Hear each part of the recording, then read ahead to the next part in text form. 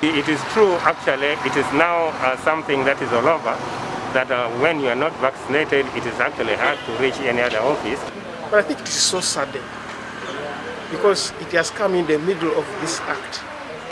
And therefore, it's, it has taken really some people an hour. Some of them even travel from all over Teso. It is a must that people should go for vaccine. It is just, it's going to be like a national ID for anyone to access to enter in the bar, to access to enter in the disco. A serious message. I think you entered my office uh, with the masks and, and you sanitized.